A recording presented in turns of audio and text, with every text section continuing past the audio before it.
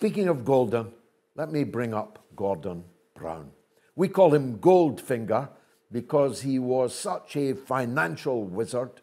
He sold most of Britain's gold reserves at the bottom of the gold market.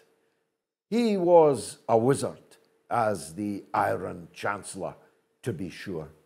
Now, it pains me to say what I'm going to say because I have literally known Gordon Brown well since both of us were teenagers. We were, I was his chairman of the Scottish Labour Party. I was 26, he was 28. I have been in politics with him for 50 years.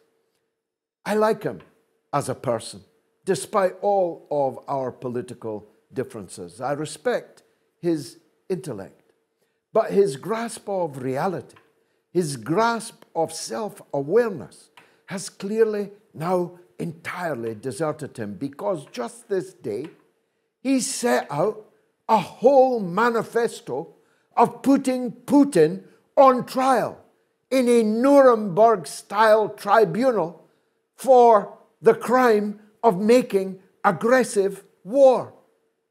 But Gordon Brown was effectively the number two in Tony Blair's government who paid for the entire bill of Britain's aggressive war, illegal, unprovoked war against Iraq, never mind against Afghanistan before it, never mind against Yugoslavia before it. Gordon Brown is as guilty as anyone on the earth of the war crime, the ultimate crime of launching aggressive war